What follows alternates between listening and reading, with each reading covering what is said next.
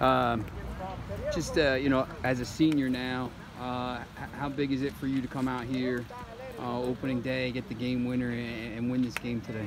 Well, it's our first game, so I'm really glad we won our first game. We all played as a team. It was if it wasn't for them, I wouldn't score.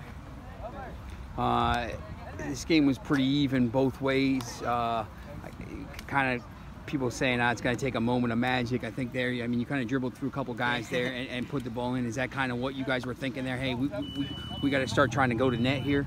Yeah, when we're in the box, we just got to dribble to go.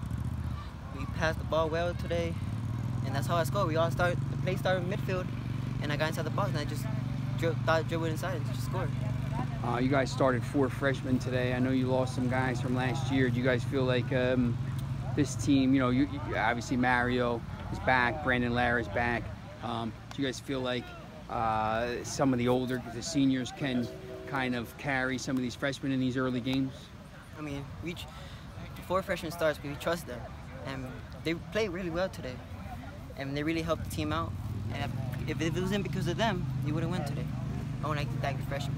What was the difference today? It wasn't wasn't too much between the two teams. I mean, it was it was really hot today, and both teams we both played well.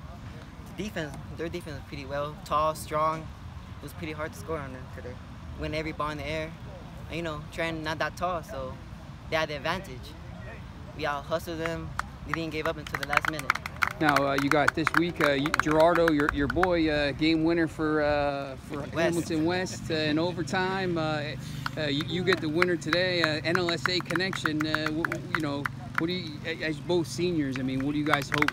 What do you hope for this year, individually well, and team? when we go against each other, I will score against them.